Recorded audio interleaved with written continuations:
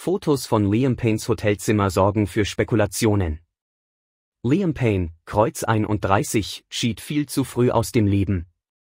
Der One Direction Star starb am Mittwoch nach einem Sturz von dem Balkon seines Hotelzimmers in Buenos Aires. Das Ausmaß des tragischen Vorfalls wird nach und nach immer bewusster. Nun liegen The Mirror Fotos vor, die angeblich die Suite des Musikers in Argentinien zeigen. Darauf ist unter anderem ein eingeschlagener Fernseher zu sehen. Auf weiteren Bildern, welche argentinische Medien veröffentlichten, sind außerdem leere Champagnergläser sowie weißes Pulver auf dem Fußboden zu sehen.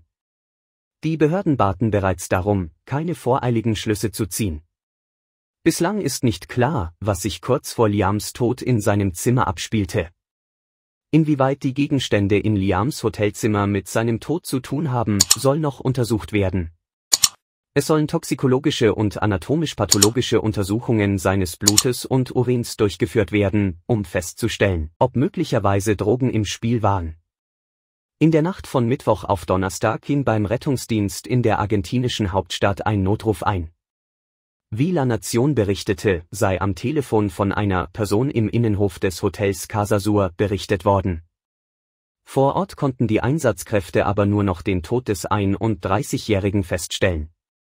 Eine vorläufige Autopsie, die vom Forensic Medical Corps durchgeführt wurde, ergab bereits, Liam verstarb an mehrfachen Traumata, welche sowohl innere als auch äußerliche Blutungen verursachten. Liams plötzlicher Tod schockierte auf der ganzen Welt. So teilte seine Familie ein Statement, in dem sie dem Story of My Life Interpreten Tribut zollten und deutlich machten, wie erschüttert sie sind.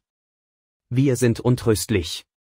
Liam wird für immer in unseren Herzen bleiben und wir werden ihn als freundliche, lustige und mutige Seele in Erinnerung behalten, hieß es in der Erklärung, wie The Mirror berichtete. Liam hinterlässt seine Eltern Jeff,